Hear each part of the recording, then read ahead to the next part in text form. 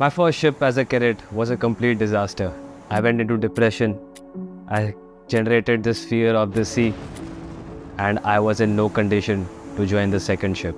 But I had to complete my sea time to get my degree and my certificate of competency.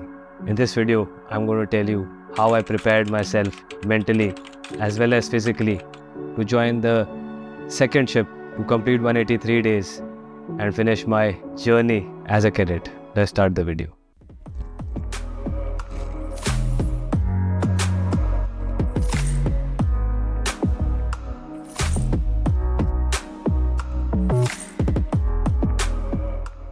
It was June 2016. I just signed off from my first ship, totally broken, depressed, and generated this fear of the high seas. In fact, I even uh, told my parents that I do not want to go back onto the high seas. And I was almost on the verge of quitting and sending the company a, an email that that's it from my side. But somewhere down inside, the spirit was telling me that no, not yet. Well, understand that some things are not in your control. I say destiny is also not under your control. You can just observe it and play along with it. I decided that I'm going to build my mindset again as a paratrooper and join the second ship. I got an email from the company that in two months, that will be August 2016, you will be joining your next ship and I was fearful. I could not, could definitely could not say yes, but I did say because I had to complete my sea time so that I could get my degree and my certificate of competence. If I would not do that, then all the three years of studies, the first cadetship would have been a kind of waste. So let's talk about how I prepared myself in those two months. The first 30 days were bad. I mean, I was running around the hospitals thinking I have a physical problem, but the problem was here in the mind. Eventually, I understood that and I started reading the Bible a lot. Now, you would say, How did the Bible help you? I would say the words inside the Bible helped me so much. I still thank God for uh, helping me at that time. So, in the morning, I used to pray and read that then I started swimming. Now there is a very good endorsed relation from my side that if the physical body starts to feel good, the mind automatically becomes your friend. That is why people focus so much on yoga, breath work, sports, gym, etc. because that comes first and then comes the training of the mind. In physical sport also you are training the mind but when the mind calms down after a physical exercise then you can give it good nutrition by good knowledge. So I understood that, and the next 45 days, I started training like hell. I started reading a lot of self help books. The first book I read was by Naveen Gulia of how an aspirant of paratrooper fell down during his obstacle course and he hit his neck uh, on the ground and got neck down paralyzed. And what he did after that was amazing. Naveen Guliaji, if you watch this, you are a true inspiration to me. And then I read a book called uh, The Power of the Subconscious Mind, which helped quite a lot to understand the past impressions, the memory, whatever there is in the head of the first cadetship. So I trained my mind like that. And my joining came from Malaysia in August, 21st August 2016 or something. And at that time, I had become more like a, a, a person who's observing his emotions and not that the emotions controlling me. I was just observing them. Because once I was about to leave my home, everything came back and uh, it was telling me, stop, stop, stop, it's going to get bad. But I was like, just observe, the, observe it, you have trained well. Now you need to go and complete what you started. So I went and it was Malaysia, August, and I went with a warrior mentality. As soon as I stepped on the gangway, a lot of past impressions came when I was stuck on the first ship. You know, uh, thinking of how a prison type uh, environment I am in, but I did not let it get into my head. It sounds very vague, like how I'm speaking, but I'll give you a few practical tips what I did on that cadet ship, the second ship, for seven months, which helped me and made me a totally different man. The first and foremost, like I said, the physical exercise, the routine of that. So I learned my lesson on the first ship that if you go to the gym and lift heavy, and there is a small rule, you can hurt your shoulder and your back really bad. So I cut out the lifting part. I went into pure calisthenics, that is pull-ups, parallel dips, and push-ups. So these are compound movements. So your joints are considerably safe in case of uh, a weird movement. So I trained for that like every day, not every day, like whenever I used to get time, mostly every day for 30 45 minutes. And I used to uh, go outside my uh, cabin. There was a, a pull up bar and a parallel dip bar installed there, and I used to exercise whenever my work was over. So that was number one priority, like no compromise on that. And that I would say was 50% of the battle one, the physical exercise part of it, maintaining it consistently. The second, very interesting hobby. I am a music fan. Like I, I love the old classic rock, uh, the 60s, 70s, Pink Floyd, Dire So I had a guitar in my uh, recreation room. Uh, there was a there was an Indian cadet who used to play. He was from the Philippines. And I told him, "Man, teach me," because I had a I had spare time of one one and a half hours, and I thought, okay, why not make the most of that? So I started learning from him. Then I installed an app and started learning the chords, the basic chords, the progressions. I am very bad at it, so I will never put a clip of that. But that opened a lot of channels in my head. Like I could not imagine that I am playing a guitar. Like I have no, I had no uh, sorts of creative talent in me.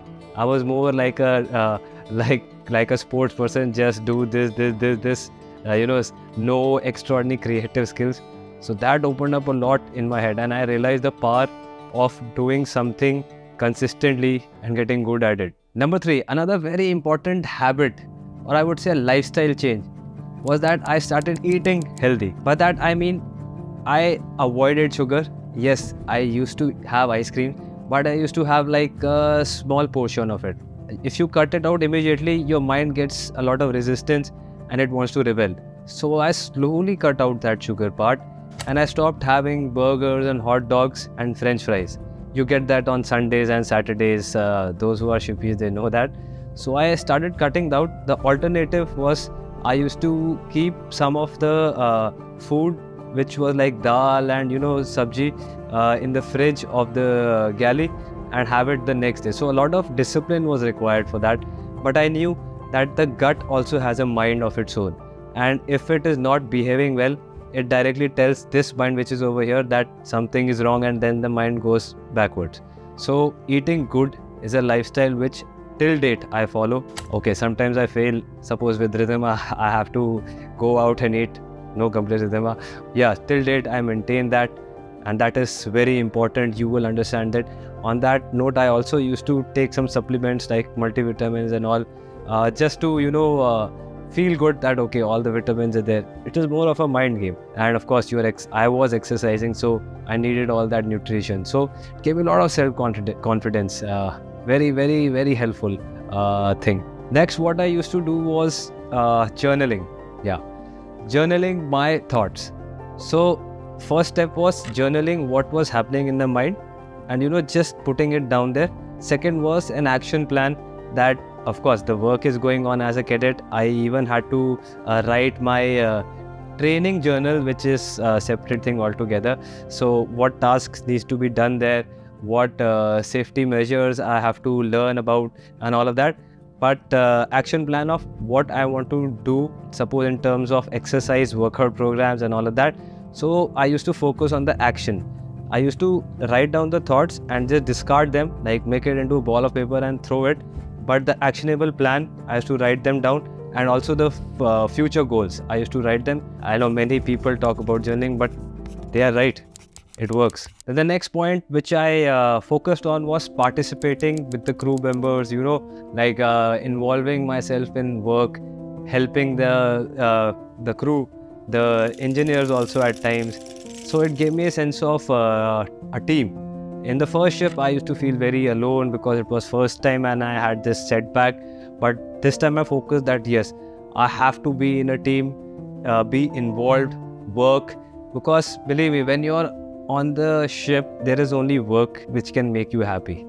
So in my case, I started uh, working with other departments, trying to understand their roles, their jobs, and that uh, actually gave me a sense of purpose and the time also flied by quickly. So uh, it, it helped a lot in that way. The most important point i had faith in the divine.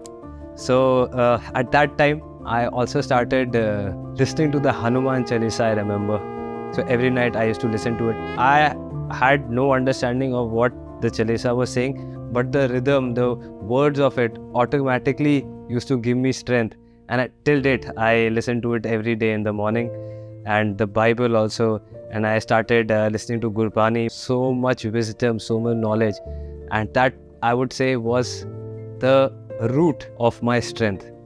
The everything i told you was the outer part but the inner part was there. I don't want to force religion or uh, anything but the words the wisdom from the text the scriptures are so powerful. They gave a, gave me a lot of strength. So all thanks to that bird which came in my on my first ship i understood what uh, the ancients used to talk about. On that note i also started admiring the beauty of nature once again appreciating all the sunrises and sunset. At that time i was not a youtuber so i used to not capture it but just enjoy and get merged into that oneness. So it was a very powerful experience and 7 months went by very quickly. I learned so much. I completed my training record books and uh, my captains were pretty good. They were from Netherlands, both of them excellent captains. They helped me so much and I got trained by them very well. I used to uh, do navigation watches with the second mate and chief mate and they used to let me uh, you know sometimes uh, control the control the ship in the traffic under their observation gave me a lot of confidence. Why am I telling you this? Because the first part of this uh, conversation, which was whatever steps I took, was like the base, and all of that learning comes on top of the ship and your uh, uh, day-to-day career uh, moves and lives and all of that. So I understood that very well, practicing all of this, and I'm pretty sure that many of you feel or face all these situations tough situations out here on land as well. And believe me, when I come on land, I think the challenges are even more because there are a lot of distractions here. So all these steps I try to implement here and they work the same, absolutely the same. So it was like a cheat code I cracked.